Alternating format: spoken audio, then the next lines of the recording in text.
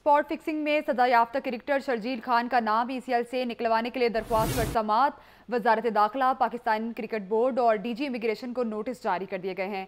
26 नवंबर को जवाब भी तलब किया जाएगा। इस हवाले से मजीद तफसीत जानते हैं उमर शाकिर से। जी उमर शाकिर, आगाह कीजिएगा इस समात के हवाले से।